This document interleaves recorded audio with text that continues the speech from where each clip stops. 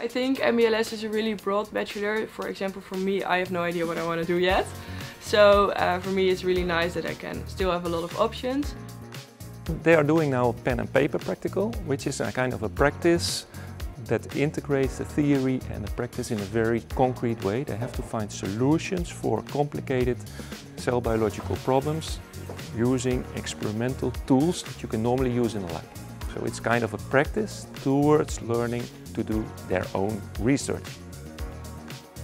So it's very interactive. You work a lot in groups as well, a lot of presentations, and I like it. It's a lot, yes, but it really makes you improve in a lot of different skills, not only maybe theoretically, but also practically, also your social skills, and I like it a lot.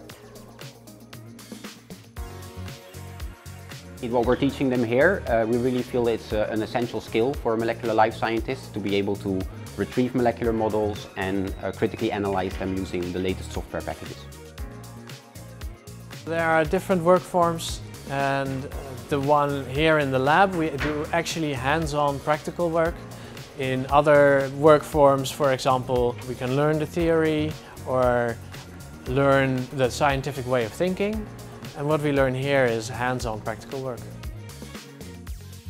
Mm, so far I'm enjoying the Bachelor. I think it's a very intense but also interesting program and I like that it has a lot of variety and different courses so I think it's nice to be able to specialize later and now be introduced to different fields.